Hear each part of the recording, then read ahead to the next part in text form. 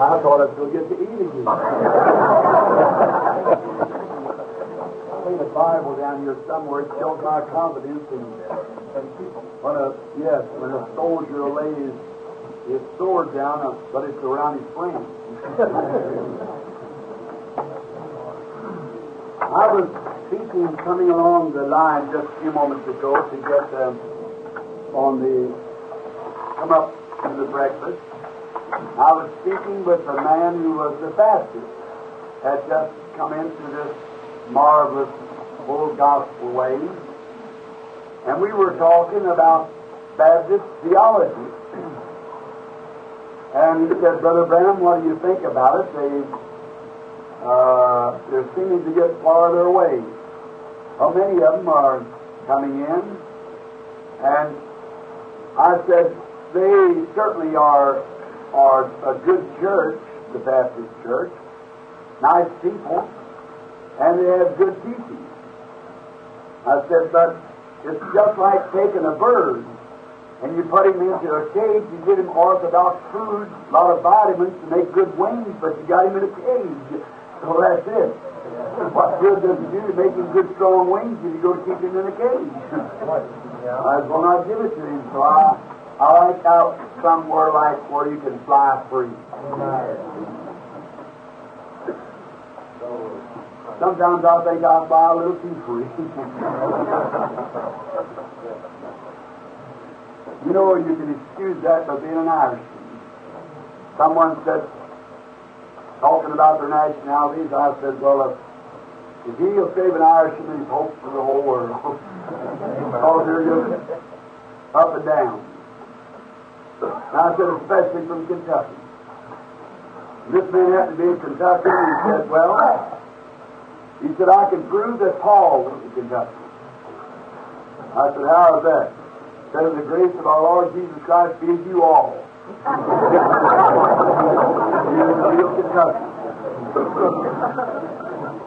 to be assembled this morning here at this breakfast with such man as I am assembled with, and women, it certainly is uh, a privilege that kings of the earth don't have.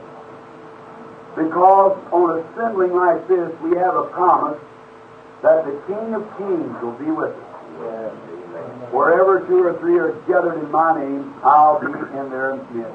Right. Right. And I just love that. I'm thinking the last time we gathered here, I believe it was, we didn't get anything to eat. Remember that, Brother Ballard? That's right. we just sat around and talked. but we had a spiritual peace. That's much better. And this morning seems like that the Lord's given us a double potion. Something to eat for our stomachs and already food for our hearts. And we're grateful to Him. I'm grateful to you, brethren, the sponsors of this meeting that's assembled here this morning, and for this Christian businessman who I love and speak for them much. We're coming along this morning on the line, and I said something about the Christian business with all its being ministers and their wives. Brother Moore said, no, there'll be some Christian businessmen someone we were talking to said um, uh, something about the businessman, and they said, well, they took Brother Branham. That's the only denomination he belongs to is a Christian businessman. I said, I'm getting to be such a fanatic, I'll be that's not the only one would receive me. I was such a crank anyhow. I'll be just a Christian businessman, the only one they can shove me from one to the other, you know, of course they represent them all. but we're happy to be here with the Christian businessmen and the ministers and their wives and all the visitors that they're being with us. As not ministers, not in the fellowship. This has been a great uh, time for me here, being so sorry that I had a throat the way I have it. But uh, this is just about my fifth month now without hardly a, a day or night off. while I've been in the service. Constantly on the go. And you know, I read a piece of paper the other day in our uh, article, rather, in one of our local papers. It had a picture of the famous evangelist Billy Graham. And it said up the top, wearing seen. And he had made a statement that amongst some theologians that he wasn't an atheist like he used to be. That he believed that some of the Bible really could be not inspired and a few that he might pretty soon leave the field of evangelism and and become some take some kind of offering for some great college or something on that order. Which to me, I don't believe he said it. Uh, I got better confidence in a man of God like Billy Graham than to make a statement like that. The papers make a lot of statements that's not true. Right. I don't believe Billy said it. But if he did say it, I would say that one thing would be like Billy, would be like it is with many of our other evangelists, and with myself. Now, I hope you read between the lines what I'm saying. Sometimes our zeal burns up our wisdom. Yeah. We try to go too long, too hard. We get wore down. Get to a place you can't think right. Seems like, oh, I don't know. Sometimes when I get feeling like that, I'll just kind of be glad when I hear the trumpet sound. I think it'll all be over. There'll be no more struggles, no more heartache. Coming home, you know what I mean. You don't know what it is until you go through it once. I know you can wear it thin. Jack Cole wore just a little too thin once. And you don't watch, Tommy Hicks is more thin, pretty thin, and you know that. Just as soon as he comes from overseas, somebody grabs him here and there. He's had a breakdown. I know I wore awful thin one time. Yeah. and I'm getting thin again. But how can you sit still when thousands are calling and pulling from everywhere? Well. I thought, well, Lord, last fall when I come back from Brother Bauman, or uh, the Christian businessman, over on the little time of vacation, I thought, well, Lord, I'll step in the harness and stay until you come and reach over to I would rather die in the harness than out of the. So, when we're thin and wearing thin and so forth, as I've just stated, you get tired, or my throat's given down. But to come into a time like this where we sit in a little gathering, and I wonder if the Lord don't just let us get all tore up sometimes where He can just mold us and fashion us and make us a little different and bless us and kiss us on the cheeks and say, My child, I'm right with you, and I'll give you just a little encouragement. Go ahead. Now, I would like to approach a, a subject here that I, I know is entirely uh, too much of a subject for me. And before ministers, anyhow, that I kind of a little ticklish about uh, approaching it, a little skittish, I should say. But uh, I trust that you'll bear with me. I express my thoughts on a scripture that I want to read out of the book of Joel. First chapter, one, a verse, and the second chapter, a verse. The fourth and the the twenty-fifth.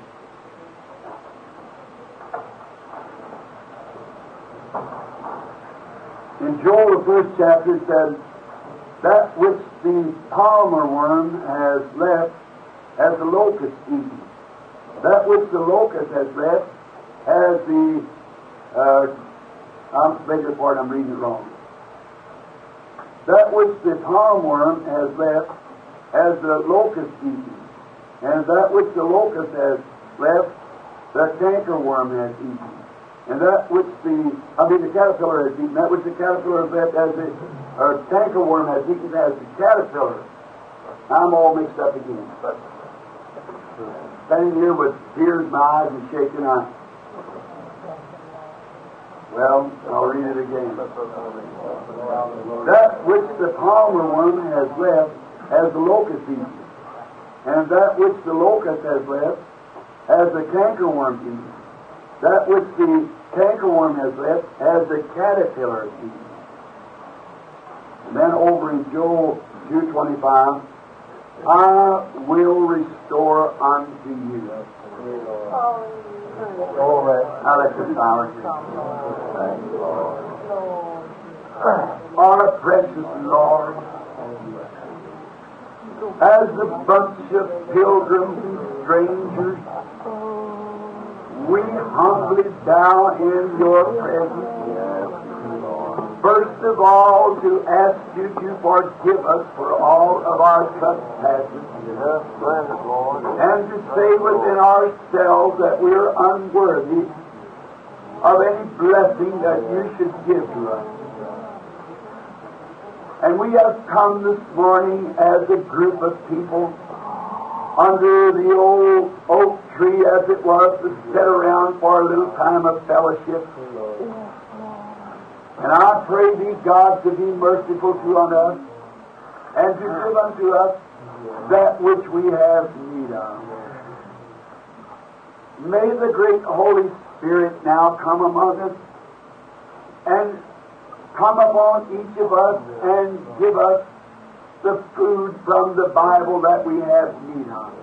Yes, thank you, Bless Lord. this group of men. Thank you, Lord. Yes, bless it, Lord. Bless this gathering. Bless it, Lord. Bless the revival Thank you, Lord. and the Christian businessman. And for everything that's been done or said during this meeting. And we pray that in the end we'll hear those wonderful words, it was well done, my good and faithful servant. Enter into the joy of the Lord. We ask in Jesus' name. Now may the Lord add his blessings to his word.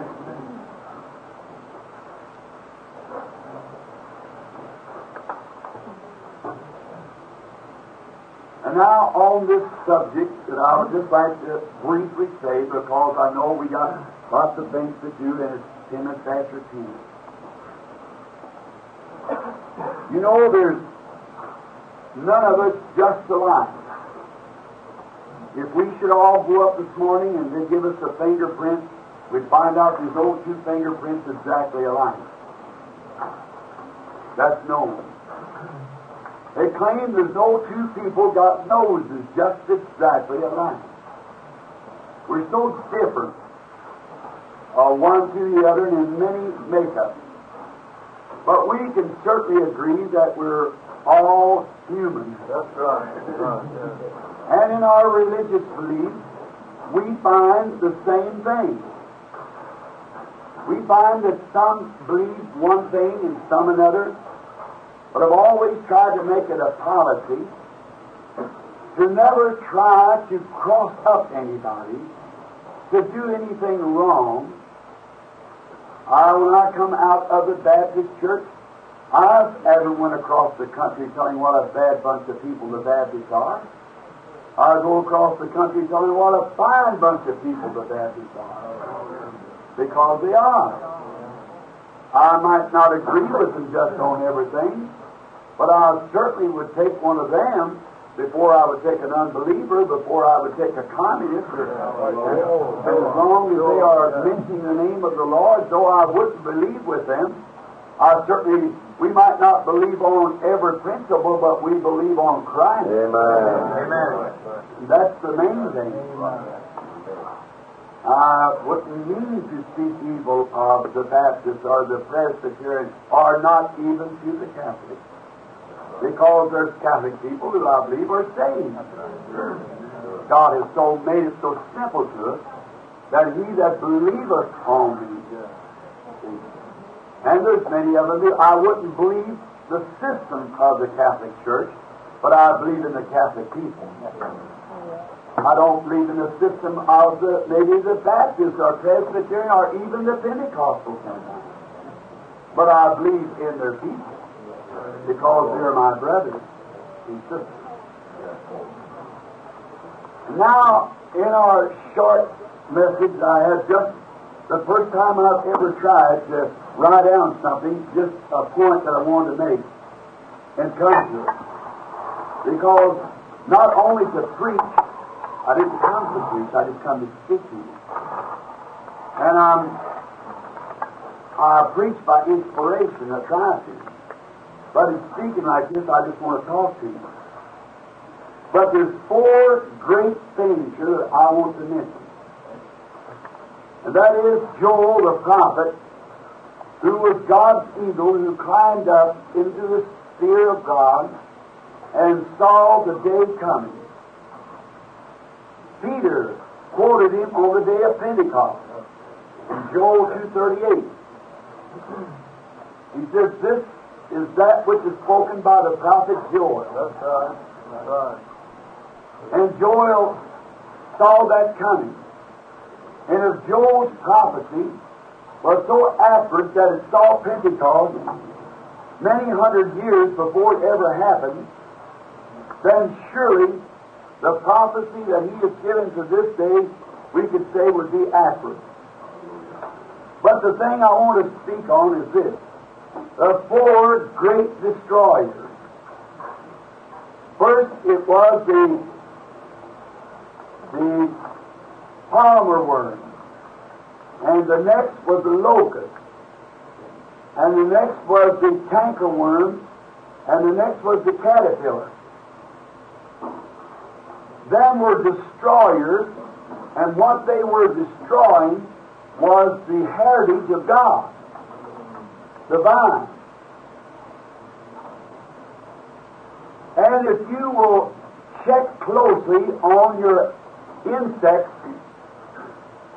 those three or those four insects are the same insect in a different form. The caterpillar and the uh, locust, the cankerworm, and the, I mean, the, I get them mixed up. The first was the palmer worm, and then the locust, and then the cankerworm and the caterpillar. We are told that that is the same insect in just different forms coming down. Now, if Pentecost was God's vine, which was the new vine that had grown up, then these four destroyers has been the one that eats the vine down. Now let's find out what Pentecost had and find out what we got lacking, and then we ought to find out what the destroyers are, or who they are, Amen. or what did it. Now, the first thing that Pentecost produced was brotherly love. That's right. Amen. That's right. That's right. It tore down the middle wall of petition and made a brotherhood to such a way that they had everything in common in the Bible days. A brotherhood. Paul spoke of this brotherhood, and he gave all the gifts of the Pentecostal church, and then said in First Corinthians 13 that though I speak with tongue as man and angel, and have not this love which brings the brotherhood, I am nothing. That's right. That's right. And though I have the knowledge to understand all the mysteries of God, I am still nothing without love, the love of the brethren. Jesus said, This will all men know that you're my disciples, Right. when you have love one for the other. Pentecost had that. I'm speaking Pentecost, meaning the first group of the apostles and the disciples. They had that brotherly love. They wasn't greedy. They sold everything they had for the furthering of the church. They were so together that even when one heard the other one died, he said, Let us go and die with him. Such a feeling. Now, Jesus spoke of this and said that Paul and others said, Let brotherly love continue. That was in the first church. But something taken place. And there was a fellow come in by the name of a palmer worm. And when he began to eat on that vine of brotherly love, he cut the very sapline of it. Because it don't make any difference how smart we are, how much we think we know, or how much we want to be different from somebody else, as long as that brotherly feeling isn't among us, we are fighting a losing battle. That's right. That's right. That's right.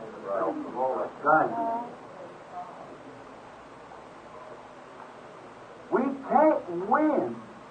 There's no way for us to win.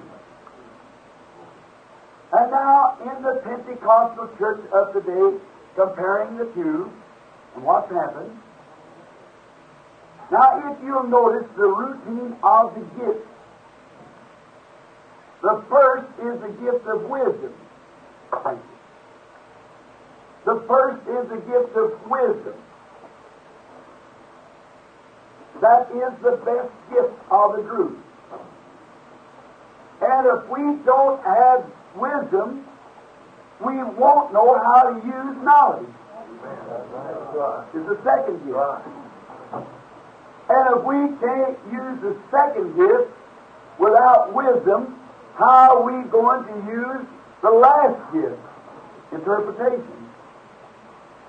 Or next to the last, speaking in tongues.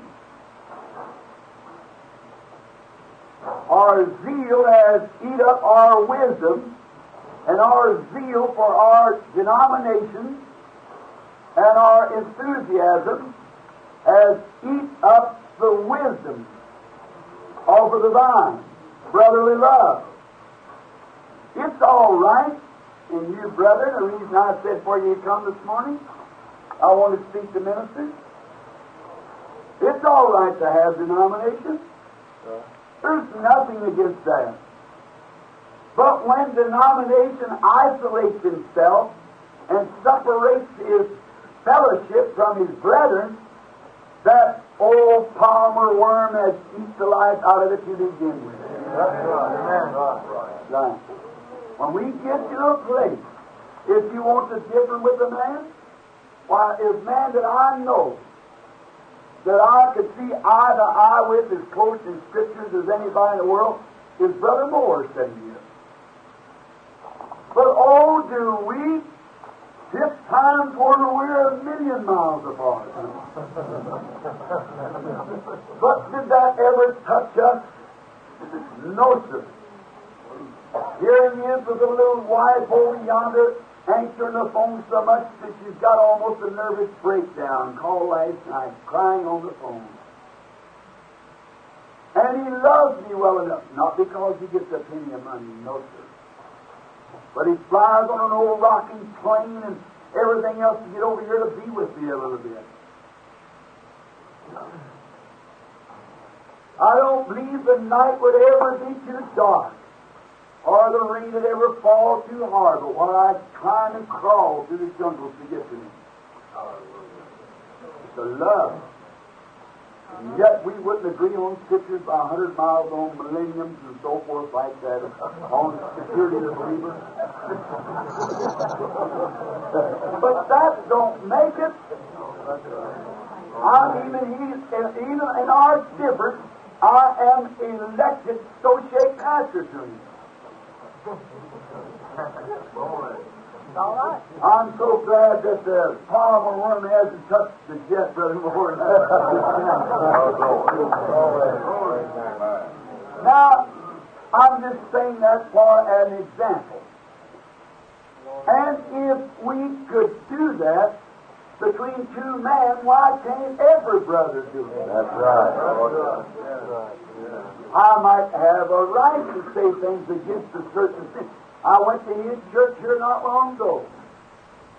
And I thought he never would invite me back. Well, I've come to find out that godly bunch of little saintly women he had there was bobbing off their hair and wearing lipstick. I tore the thing apart.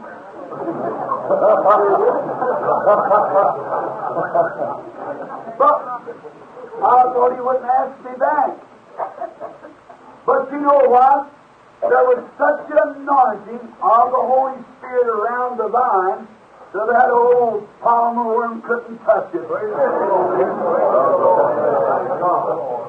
You know, there's electric fence right. That palmer worm can't get over that fence. That shock of the Holy Spirit of love. You're killing every time, brother. That's right. And if we need fences to build, it oughtn't to be denominational fences. It ought to be love fences to keep the Amen. To keep the worm out. For he is the devil's number one destroyer. I don't care what a man believes. Whatever he believes, now he's got a right to come right back and tell me he don't believe little things that I believe. I got a right to say little things that he doesn't believe in this church, the Methodist, the Baptist, the Presbyterian, even to the Pentecostal. See? Whatever. I'm with the Pentecostal people. I am Pentecostal. I don't belong to the Pentecostal denomination because Pentecost is not a denomination. It's an experience. Did you hear that Lutheran say a while ago? I will hands with the Baptist sitting over there coming down. I believe there's another Baptist looking at me there to check a tie on or what. See? It is an experience. That's right. And the trouble of it is we let these insects get in and tear us to pieces. And there is the number one killer. That's what's eating in our Pentecostal experiences today. Now, the next great thing come up was the locust. And he was the one who was to destroy the unity of the believers. In the Bible, there was, in Pentecost, there was a unity. And these people were with one heart and with one accord. And Paul said, I believe in Romans, the seventh chapter, that there was nothing to separate us from the eighth chapter of Romans of the love of God that's in Christ Jesus. Praise the Lord. There was nothing. I've never expressed this before between Pentecostal people or anyone. But seeing the tremendous strain that's been on me, that's why I come to do it this morning. It's the mightiest church on the face of the earth. Praise the Lord.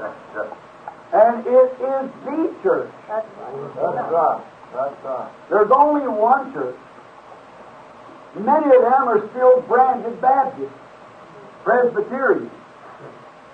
But I might not look like it this morning, but I, I used to herd a few cattle. And up there in Colorado, where we grazed on the Arapaho Forest and, and bring the cattle down on the Troublesome River Association, Hereford Association grazes the, has the ranches down on the Troublesome River. At roundup time, at the spring when we brought the cattle up to put them on there, many times have I sat there with uh, my leg across the horn of the saddle, watched the ranger count those cattle as they went through. And I was amazed to look. Some of them had the Lazy K brand on them. Some of them had the Diamond Bar brand on them. Ours was a tripod. Uh, others was different brands. The Ranger, the brand didn't make much difference. But everyone that passed through that gate had to be a registered Hereford. That's what I think it'll be at the day of the judgment. it won't be whether you're a Methodist or Baptist or Presbyterian, but what brand you got on you. But it'll be a born again experience. Thing that we'll ever go through. So not only amongst the Pentecostal denominations, but all denominations, this great palmer worm has broke down brotherhood. It did it with the Lutherans, it did it with the Baptists, it did it with the Presbyterians, it did it with the Nazarenes, it did it with the Pentecostals. It's always been that old worm in there to make them isolate themselves. We got it and you ain't got nothing. What a pity. Recently at a meeting where a, a Lutheran group of people, a dean of a college, had Brother Moore and I there, and he so differed with me, but what got him was in the supernatural. And he called me out to have dinner with him. And they was sitting there and many drinks at this breakfast. And then when we got through eating and was explaining to him, he wanted to know what we Lutherans have. And I said, Well, do you say, he said to me, do we Lutherans have anything? I said, Sure. Has Christ. I said, I'll make it to you in a parable. A man once planted a field of corn. And he went out in a few days and he looked and there were little two little sprouts sticking up like this. And the man began to praise God for a field of corn. I said, Did he have corn? He looked at me. said, Well, perhaps in a sense he had corn. I said, He had corn potentially. By and by that corn matures. And after a while it becomes a tassel. Now I said the first two leaves are Luther's. First Reformation. And after a while along come the tassel. That tassel looked so pretty. He looked back down to the leaf and said, I haven't got nothing to do with you. I'm a pretty tassel, and you aren't nothing but just an old green leaf. But if the truth was known, the very life that was in the leaf is made the tassel. And it has to have the leaf to drop its pollen to further on towards maturity.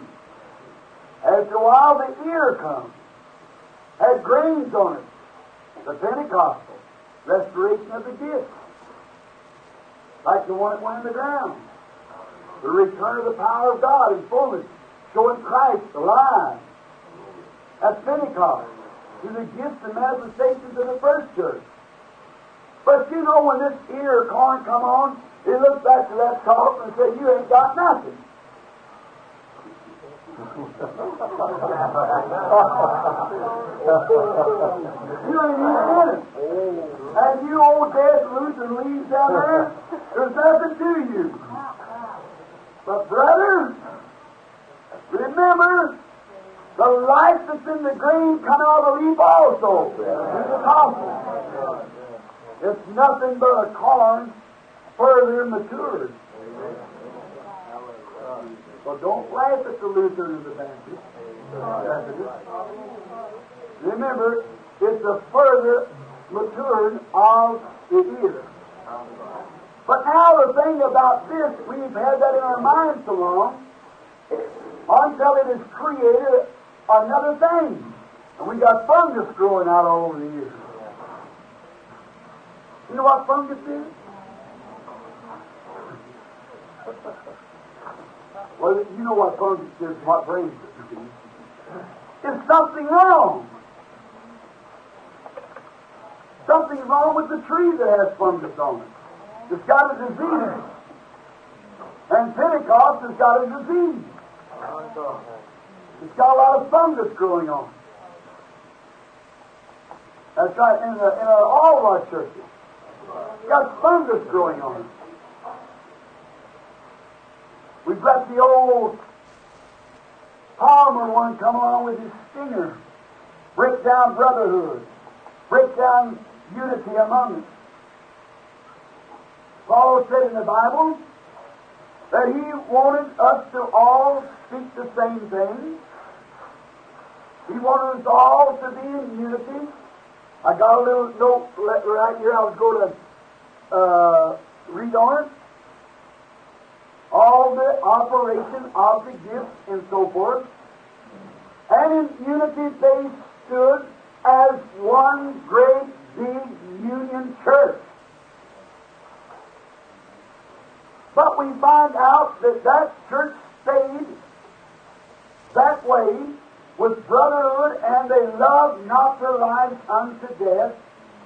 They went out in martyrdom. Many of you men here who are scholars, you've read uh, the well the early ages of the church and books like Fox Book of Martyrs and so forth, and many other church uh, church uh, histories, and how did they stuck together.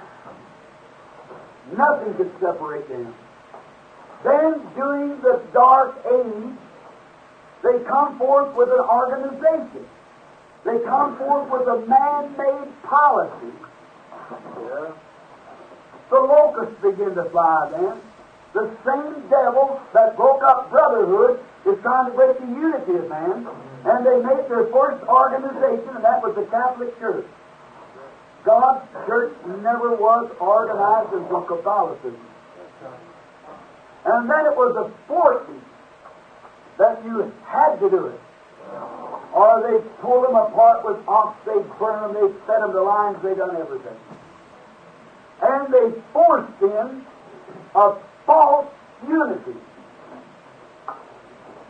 The locusts begin to sting. And it's too fast.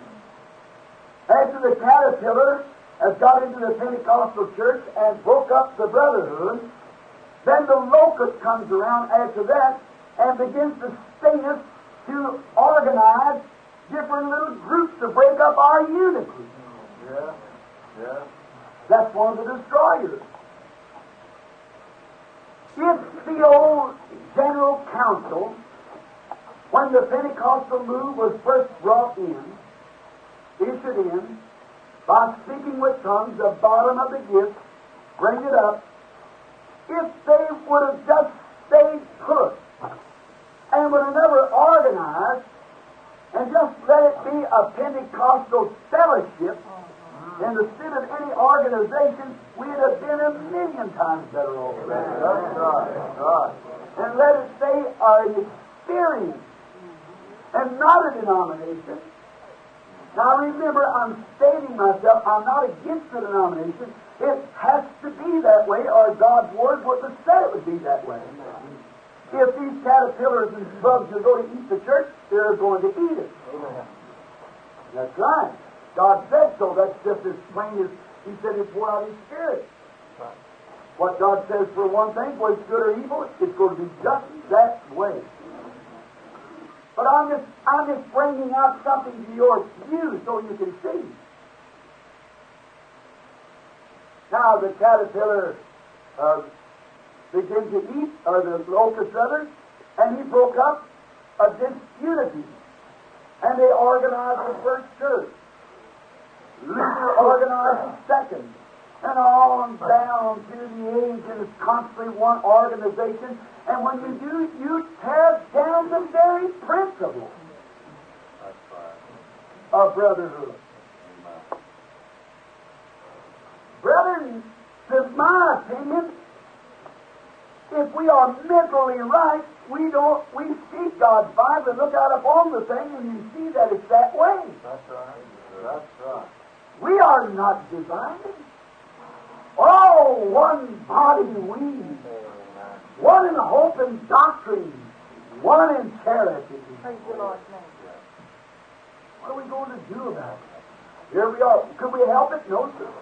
God said so. That's it. They could not help doing this. I wonder when we stand before Jesus, that great day, and as the patriarchs stood before Joseph, and they condemning themselves, we knew we did this, we should not have done this. And he said it was all for the good. I wonder really if all of our differences and everything, when we come that day and say, oh Lord, if I'd have known that, I'd never done this. But what if he just say, well, it was all for the good? It might preserve life in some way. But to think that old locust, what it's done. And then another thing that they had back in the Bible times, now besides brotherhood, perfect brotherhood, perfect unity, they had a worship of one true God. And it's too bad that we got away from that. Now, in the day of the early age, there's come a time when they set up a pope and made him a god. Give him a triple crown. The jurisdiction over heaven, purgatory, and hell. I've seen his crown. I looked at it myself. And they begin to come to a man worship. And they be set up from the worship of the one true God to a false earthly God and got priests in there and called them fathers. Ghostly fathers. The Bible plainly told us, call no man father but God. And to worship no man but God. I wouldn't want to say that it was a grand privilege, but I was given the privilege to be interviewed by the Pope when I was in Rome. And I had seen many diplomats and great men and kings and potentates, monarchs, and I met them and they told me different things I should do and how I should address them. And when I went to them, Your Honor and so forth and and um, Majesty and so forth, I was to say. So I asked this person what I was to say at 3 o'clock the next afternoon when I was to meet the Pope of Rome the head of the Catholic Church. And he said the first thing you must do would be bow down on your knees and kiss the ring and call him His Holiness. I said, just take it off the list. Amen. I would not pay that respect to any earthly man. I was That's right. If he is a minister or a reverend or an elder, whatever you wish to be called, all right, but never do worship to a man. Right. But they had the worship of one true God. In that little faction, they set up in the program, which many of you historians know, of making the Trinity three different gods. They had one God the Father with a long beard. I've seen the pictures, Vatican, Vatican. They had another God the Son with a younger man and a little bird flying around like a dove calling the Holy Ghost. Now they lost sight there of the true picture of the one true God. God is not three gods. God is one God. God has three offices.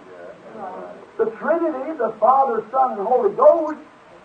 But it isn't three different gods. If it is, we're pagans.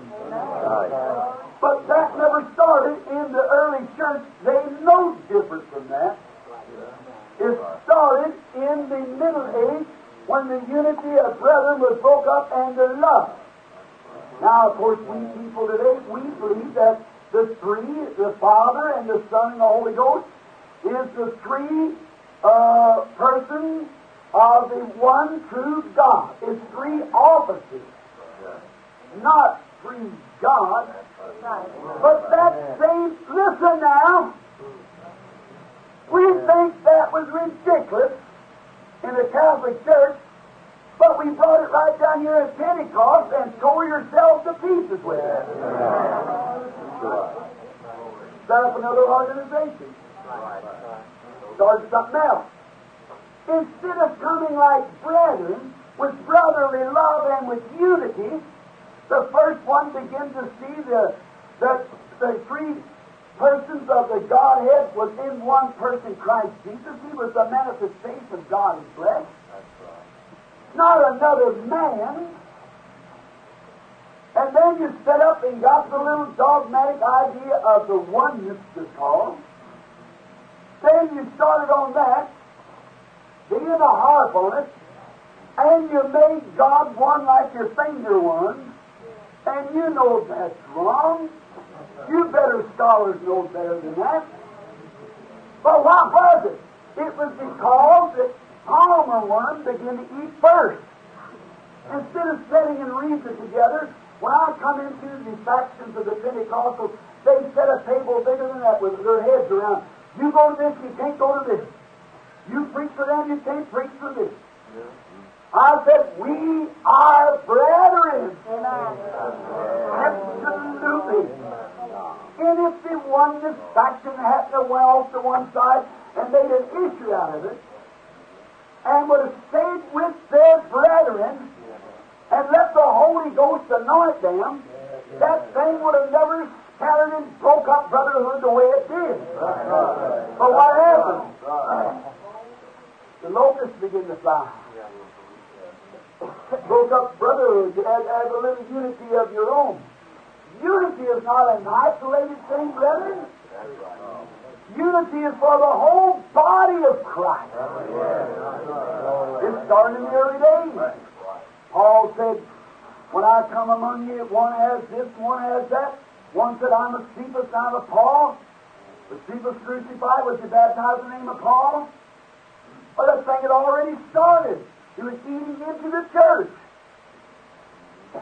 But they had in the beginning the unity of the one true God.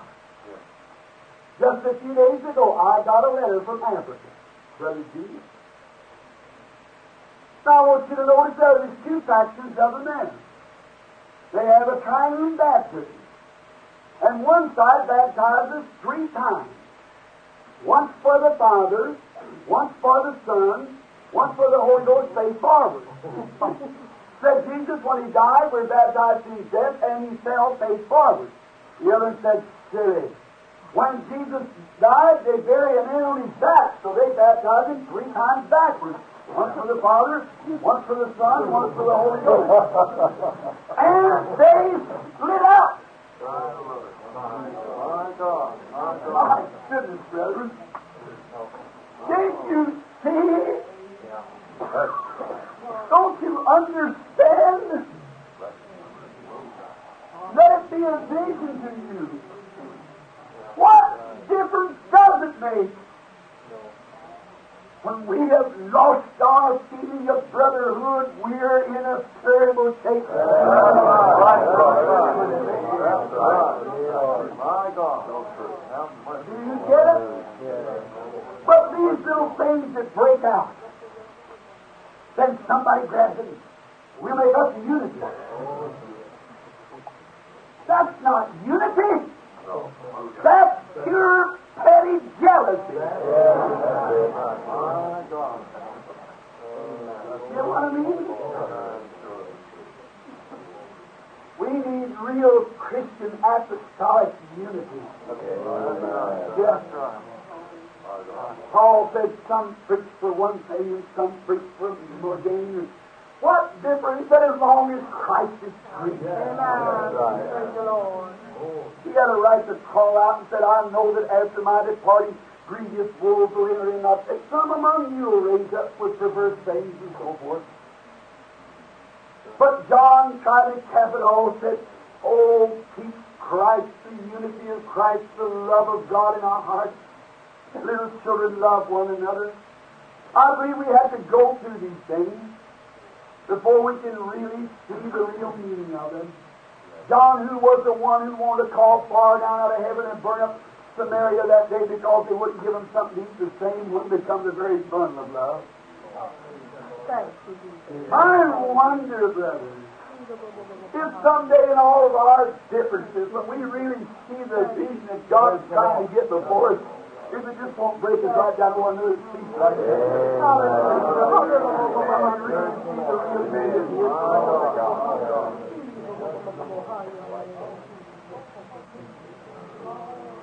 Another thing that they had in that day was absolutely a soundness of Bible teaching. That was one of the things they had, which the palmer worm and the caterpillar, and if you notice, it's the same insect all the way down. Now this old devil of canker worm has come in, and he crawls in the skins, too you know, cankers you up.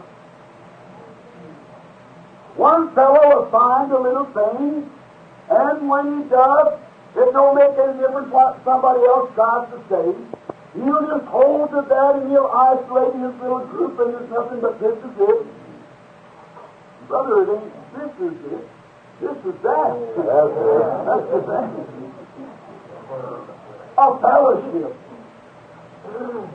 A true Bible teaching. Not going out after one thing or another.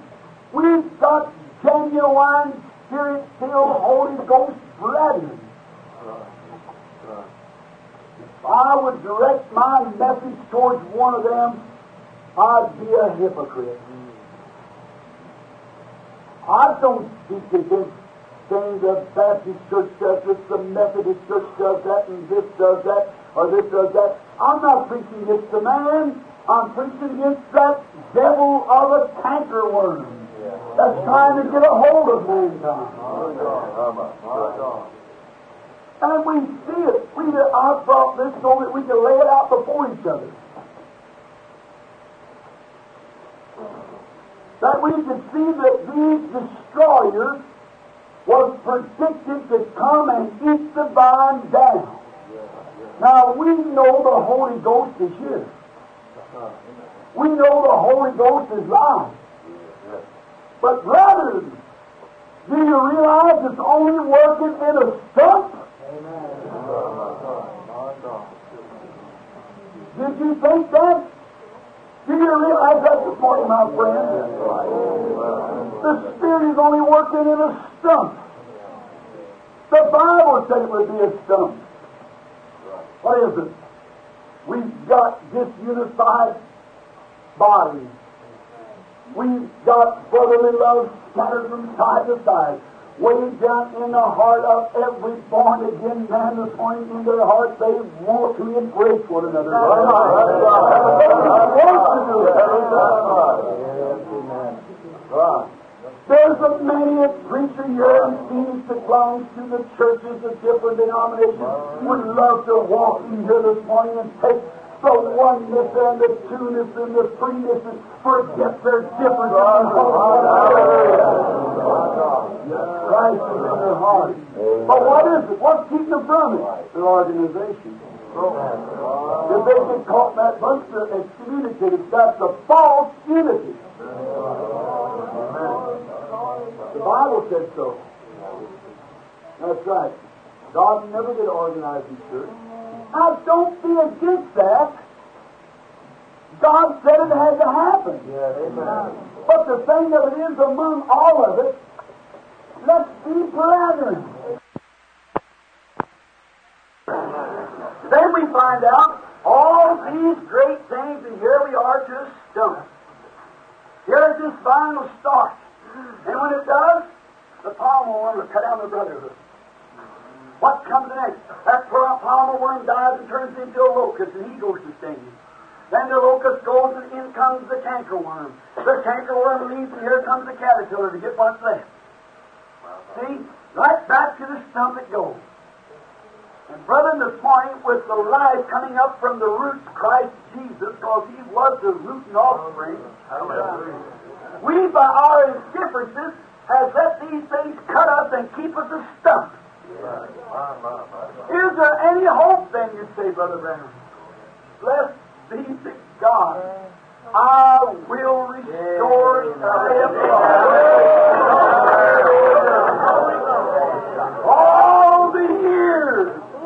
the blessings that the cankerworm, the caterpillar, the palmer worm, and everything is eaten down. And brethren, as a middle-aged man, as a preacher of the gospel, your brother, which loves you with Christian love, I'm looking to see the day. Hallelujah. Soon, when those canker worms and caterpillars will be sprayed with God's insect powder. And every church will embrace one another. Man shall be brethren. And now for a real thought of this. If God said these insects would eat down His heritage, can you see, brethren, divine healing, why it doesn't operate right? Can you see how gifts don't operate right? The spirits, they'll get into the church and some with tongues will speak irreverently. Some of them will pay no attention to it. Others say that message wasn't right. They let this go and that go. Then the gifts will come and they say, oh, Jones said this was this and this was that. It's the Holy Spirit truly. But it can't get through to produce itself. These little insects are keeping it down. That's the reason we can't have real. Why, this great power that's in the church is a sweeper from sea to shining sea. The great church of the living God should be sending for a